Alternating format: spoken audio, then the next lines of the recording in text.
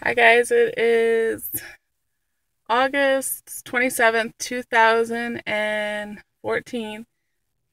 Happy hump day. Um, I just want to check in real quick. Uh, confession time is, why am I so blurry?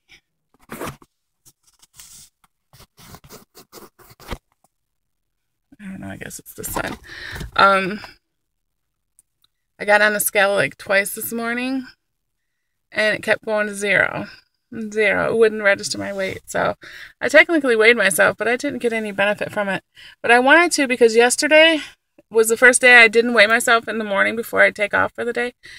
And it was horrible. I uh, ate more than I ever did.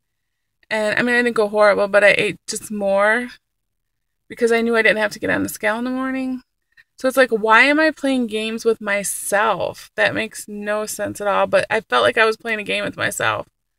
Like, if I ate a little bit more, it'd be okay today because I would be able to have it gone by Saturday, my weigh in day. So I'm not sure what I'm going to do.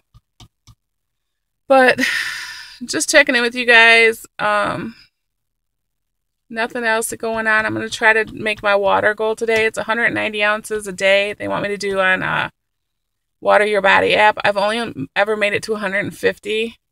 So my goal is 190 ounces of water today. But I hope you all having a good day. And it's almost Friday. Yay! Bye.